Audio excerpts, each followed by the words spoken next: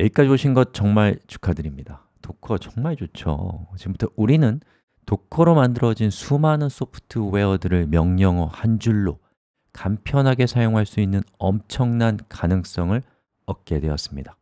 이 가능성이 우리를 얼마나 크게 변화시킬 수 있을지 곰곰이 느껴보시면 좋을 것 같습니다. 기뻐하고 즐거워할 시간입니다.